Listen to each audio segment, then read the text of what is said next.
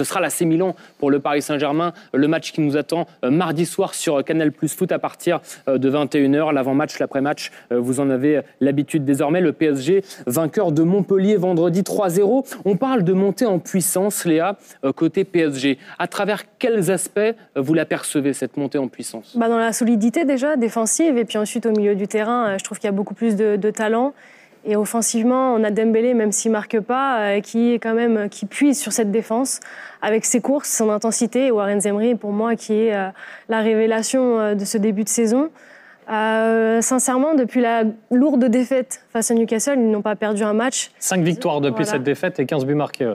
Voilà, et je pense que ça a été peut-être le déclic. Parfois, il faut prendre une, une bonne rousse, on va dire, pour, pour se réveiller. Là, on est sur un temps calme, Michael tout se passe bien, on en profite, il n'y a pas grand-chose à redire. Non, je trouve pas qu'on soit sur un temps calme, on est sur un temps de progression. Et moi j'aime bien parce que c'est pas souvent qu'à Paris on parle de progression. Euh, ces derniers temps, euh, même nous, on restait sur notre fin parce que collectivement, on voyait pas de progression. On voyait pas non plus les joueurs progresser individuellement. Et dans ce que vient de dire aussi Léa, bah, il y a un jeu collectif qui progresse. Ça ne veut pas dire que Paris en huitième peut pas tomber sur un os en huitième de finale de Ligue des Champions. Par contre, je trouve que collectivement, il y, a une il y a une progression, individuellement, ça progresse, et surtout aussi, il y a une ambiance. On le sent à travers les, joueurs qui, les, les, remplaçants, ils apportent quelque chose. il y a de la complicité entre eux. On sent entre, en, en, tout cas que ça s'organise plutôt positivement. Les entraîneurs sont des perfectionnistes plus plus. Est-ce que vous percevez malgré tout des axes de progression? Écoutez, moi, le Paris Saint-Germain, je les juge toujours euh, quand on arrive en huitième de finale. En France, ce qui se passe avant, on compte quand même. Oui, bah, avec Galtier, ça se passait très, très bien avant la Coupe du Monde. Hein. Rappelez-vous les éloges que, Galtier avait. Euh, la même chose. J'ai entendu la même chose l'année dernière. Donc prudence, c'est l'idée Non, euh, c'est une équipe qui est, qui est bâtie pour gagner la, la, Ligue des Champions et on les jugera quand tu arriveras, parce qu'en France, il y a peu de concurrence, je pense. Et on les jugera quand arriveront les huitièmes de finale. Et comme on a jugé Galtier à ce moment-là, sans tenir des circonstances atténuantes à ce moment-là. Donc voilà. Alors c'est une bonne équipe. Il y a, ça, c'est incontestable. Je trouve que contre le, contre le Milan AC, c'était beaucoup plus serré que le score euh, le, dit. Voilà, je pense que la première demi-heure était très serrée. Et si Léo était dans un bon jour, donc on verra le match retour. Hein. justement, ce sera mardi, le match retour Canal Plus Foot. On vous a donné, redonné le rendez-vous. L'AC Milan, c'est quand même pas la grande forme. Ça va très bien à Paris, mais Milan, de son côté, est en plein doute avant de retrouver le PSG mardi soir à San Siro. Les Rossoneri, eh, qui ont encore été battus à domicile en Serie A, une défaite, euh, ça fait quand même sur les euh, quatre derniers matchs, trois défaites pour l'AC Milan qui vit la plus mauvaise période de sa saison. Le Paris Saint-Germain mardi, donc Canal Plus Foot, le Racing Club de Lens mercredi sur Canal Plus tout court. Est-ce que la machine du PSG est lancée? Salut à toi et bienvenue dans cette vidéo. Dans cette vidéo, on va parler du PSG, les amis. Mais avant de commencer, si tu me découvres à travers cette vidéo, ici, nous, on parle de foot.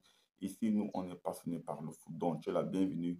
N'hésite pas à t'abonner pour ne rien manquer des prochaines vidéos. Si c'est fait, on est parti. Alors, est-ce que Luis Enrique a enfin trouvé la bonne formule? Parce que, les amis, le PSG, actuellement, est une série de 5 matchs, 5 victoires, toutes compétitions confondues. Et du coup, on se pose la question, est-ce que Luis Enrique a enfin trouvé la bonne formule? Est-ce que le PSG est enfin lancé? Moi, je trouve que les amis, ce PSG-là est en train de monter en puissance. Ce PSG-là monte vraiment en puissance. Regardez la manière à laquelle ils ont battu Montpellier avec une équipe bis. Charlie, les, les tu joues sans Lucas Hernandez. Bref, il y avait vraiment un turnover très important, les amis. Un turnover très important, très intéressant. Et du coup, les amis, lorsque tu veux remporter des trophées, lorsque tu veux remporter des titres, tu dois faire tourner. Et c'est Pep Guardiola qui sait très très bien le faire. Guardiola le fait très très très bien avec City. Guardiola aligne rarement un même 11 d'un match à l'autre. Très rarement. Lorsque Guardiola aligne son 11, sera sûr que le match prochain, ça sera un 11 différent. Et c'est ça que Luis Enrique a envie d'inculquer. Il a envie de mettre tout le monde dans le projet.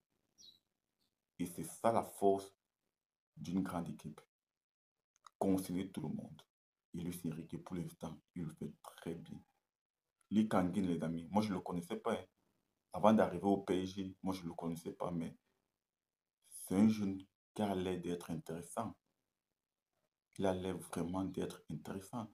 Je n'oublie pas euh, Emery qui est en train de progresser sous l'œil Lucien Riquet. Christophe Galtier a lancé Zayn Emery et Lucien Riquet est en train de le faire progresser. Je trouve vraiment que euh, Lucien Riquet est en train de faire des choses incroyables. Il fait des choses incroyables avec ce PSG. Ce PSG, les amis, ça commence à ressembler à une équipe. Ça défend, ça attaque, il y a du pressing, du contre-pressing. Euh, il y a vraiment plusieurs animations de jeu. Lucien Riquet est capable de jouer avec quatre avant-centres, il est capable de jouer avec trois avant-centres, il est capable de faire le dos rond, il est capable de varier le jeu au cours des matchs. Et ça, c'est vraiment très intéressant. Il a reposé des cadres. Il a reposé des cadres et on n'a pas vu la différence. Alors que à l'époque de Christophe Galtier et Pochettino, lorsque ça reposait les cadres, on voyait vite la différence.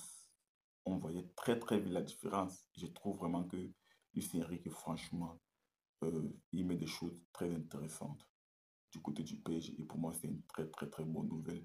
Parce que si tu veux remporter des trophées majeurs, tu dois être, tu dois faire tourner ton effectif, tu dois consigner tout le monde. Et ça, c'est vraiment choses que moi, je ne voyais pas personnellement ces deux dernières années, voire même les trois dernières années. Avec ce PSG-là, on peut espérer quelque chose en fin de saison. Je ne dis pas qu'ils vont remporter la LDC, loin de là, mais au moins, il y a un vrai projet de jeu, il y a une vraie cohérence dans les choix de Lucien Riquet. Tu sens que euh, il ne subit pas de pression de la part de ses dirigeants, que les choix qu'il fait, ce sont ses propres choix. Ne subit pas une pression, il ne reçoit la pression de personne et je trouve vraiment ça très intéressant. Après, partage-moi ton ressenti en commentaire sur la thématique et si ce n'est pas encore fait, n'hésite pas à t'abonner, d'activer la cloche de notification pour ne rien manquer des prochaines vidéos. Si on se dit à très bientôt pour notre vidéo les amis. Ciao, ciao